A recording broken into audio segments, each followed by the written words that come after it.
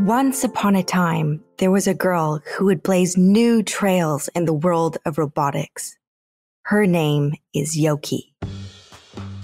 Yoky grew up in the bustling town of Tokyo, Japan, in the 1970s and 80s. As a young student, she and her classmates all dressed in identical uniforms, sitting quietly in rows, would answer their teachers' questions with hushed voices. Yoky wanted to stand out, but she was too afraid. In Japan, girls were expected to study well, pay attention to their elders, and never raise their voices.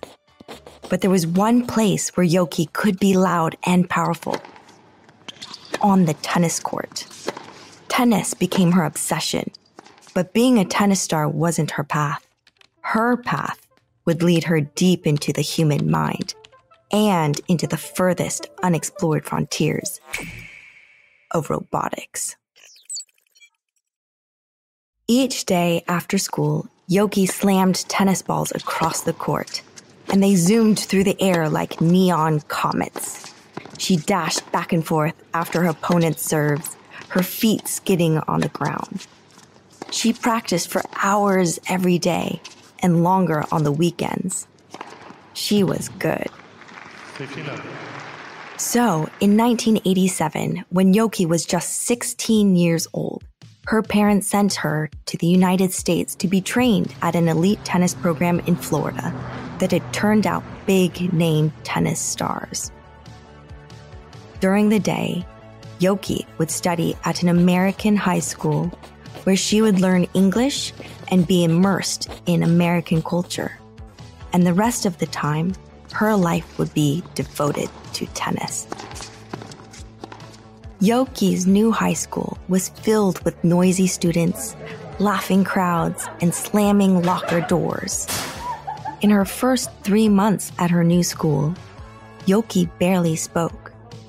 But while she was quiet, she paid a lot of attention to the world around her. She watched how the girls talked and how they played. She noticed what teachers liked and what they didn't. And she could tell who was popular and who wasn't. Yoky had always dreamed of standing out, but she felt like she stood out enough in her school already. Yoky was from Japan. She didn't speak English well, and people thought her name was a little funny. So Yoky decided to learn all she could about how to fit in her new country. She watched American sitcoms to learn English, but she also paid attention to the women and girls in these shows. And as she did, three things became clear. As a girl, it was cool to be a jock. You could be popular if you're a dummy or an airhead. But above all, it wasn't cool to be smart. That didn't feel right to Yoky. She wanted to make friends and she wanted to belong. She didn't know what to do. Because the thing was, Yoky was smart, very smart. Even though Yoky only had eyes for tennis, she also excelled at math and science.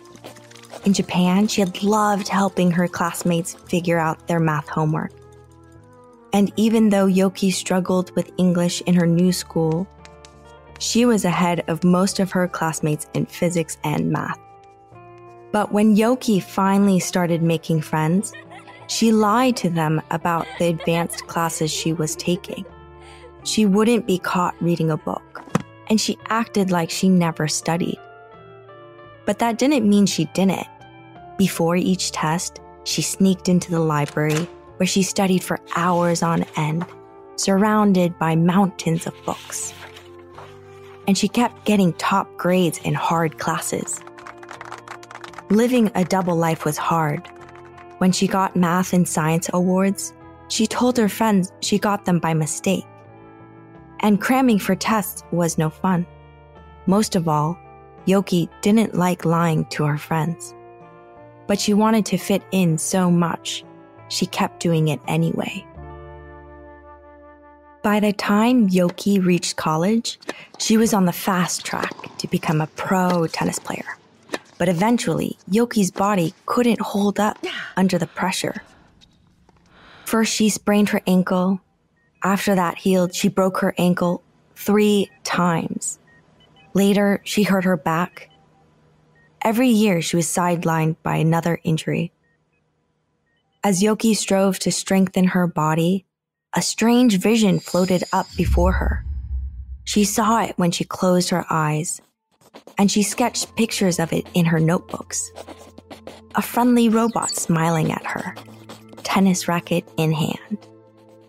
The perfect opponent, the perfect coach, a robot that knew exactly what she needed for each day of practice.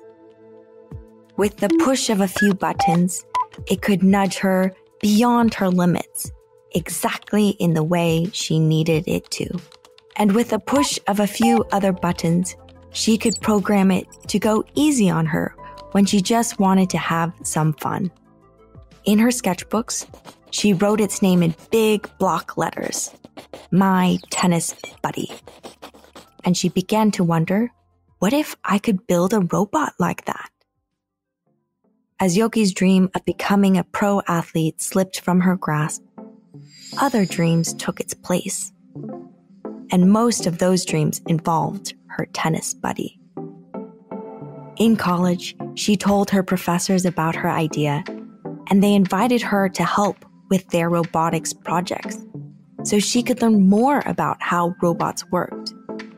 In one lab, she helped build a robot's legs she was one step closer to reaching her dream. But legs were just one part of a robot. What about the arms and the rest of the body? Yoky realized what a big task lay ahead of her. But to make her tennis buddy, she needed to know how the whole human body worked too. So, Yoky went to graduate school to discover the answers. She studied electrical engineering, and computer science at the Massachusetts Institute of Technology, or MIT. She later studied neuroscience too, because she wanted to understand the connections between the brain, the human nervous system, and robotics. The work was intense, and Yoky was surrounded by incredibly intelligent people. But sometimes she still tried to act like an airhead because she thought it would help her make friends in her new school. Still, that didn't stop her from working hard.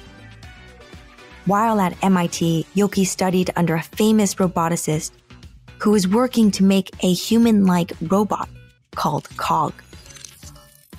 As Yoky looked at Cog's bulky body, she thought about her tennis buddy. It would need strong hands to hold a racket and slam the tennis balls across the court.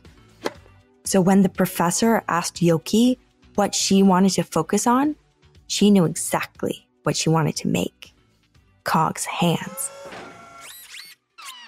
Even though Yoky was studying among elite scientists and engineers at MIT, she had lived a double life for so long.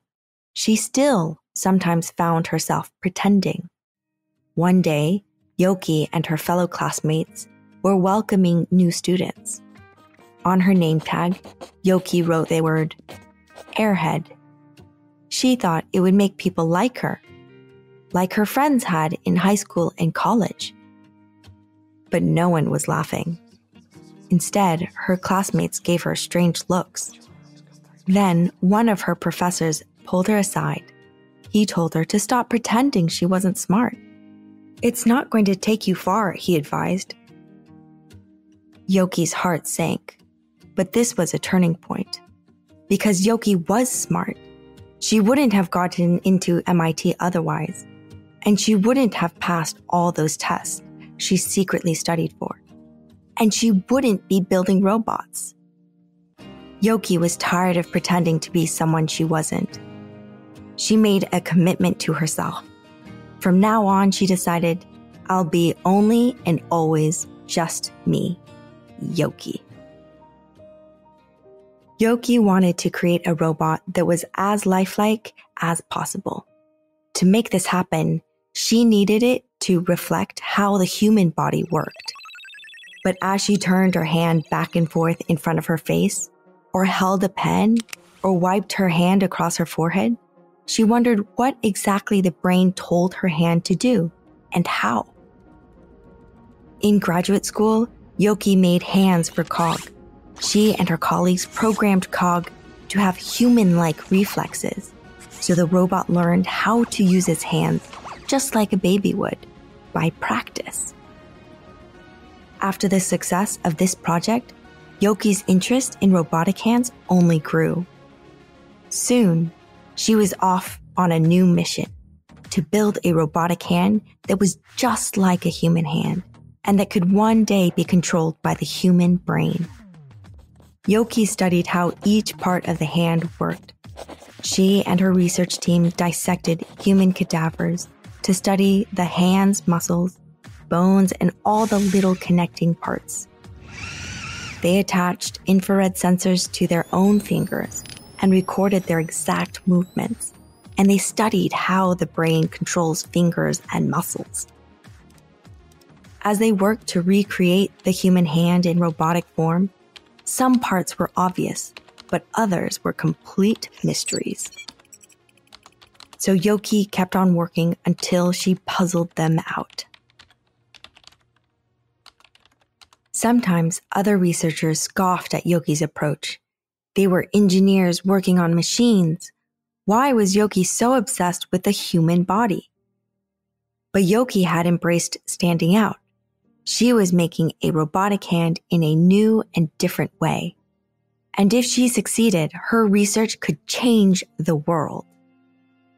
Sometimes people lost hands because of accidents or injuries, and other people were just born that way. Technology had advanced so much in recent years, but prosthetic hands, those are hands made by people, had not. They didn't move like real hands, and they certainly couldn't connect to the brain like real hands. But Yoky wanted her robotic hands to be different. Maybe one day, she thought, her research could lead to a robotic prosthetic that would look and act just like a real human hand. Eventually, Yoky and her team recreated each part of the human hand. They replicated every tiny bone. They used strings for tendons, and they powered the hand using 30 tiny motors that acted as muscles the index finger alone had seven motors. When a motor turned on, it tugged on a thread, and like a puppet, the fingers moved. It was the most realistic robotic hand ever made. Soon, Yoky's hand became the model for the robotics industry. It also opened up new avenues for the design and creation of prosthetic hands. And while the creation of a prosthetic hand that connects to the brain is probably still decades away, Yoky's unique way of bringing together robotics and neuroscience blazed new paths forward that are full of possibilities. Now that Yoky had paved her way in the world of math and science, she wants to help young rebels, just like you thrive in that field as well. And she encourages them to never pretend to be anyone they're not. As Yoky once said, I've been given a chance to make a difference in society, to change the world, and I can't pretend to be anything else that I'm not, because it will only hold me back. Yoky still sometimes thinks of her tennis buddy but these days, new and different tech projects, from self driving cars to computerized glasses and raising four kids, are keeping her quite busy. But that doesn't mean she's given up the dream. That will just have to happen, she said, somewhere down the road.